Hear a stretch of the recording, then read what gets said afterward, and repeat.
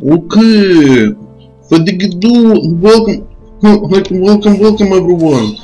This is the Russian dude again. Guess what? Today we're in the Middle of Earth.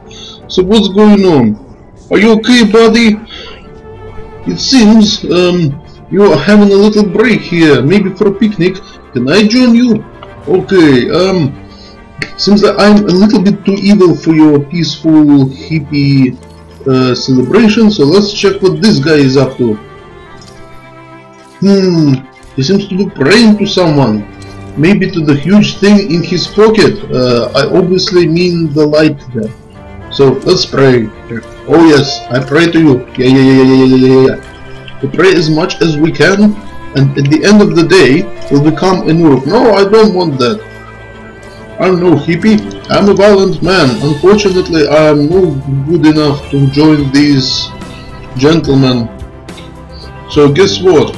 It seems like I have no choice but to sacrifice myself to the greater good. To redeem myself. But I mean, what is this? Why is everyone on the picnic when I am just the one doing evil things? Seems like my soul is not going to be redeemed. Anyway, that was Russian dude, oh my god, I'm so evil! Yes, that was Russian dude and I'll see you later.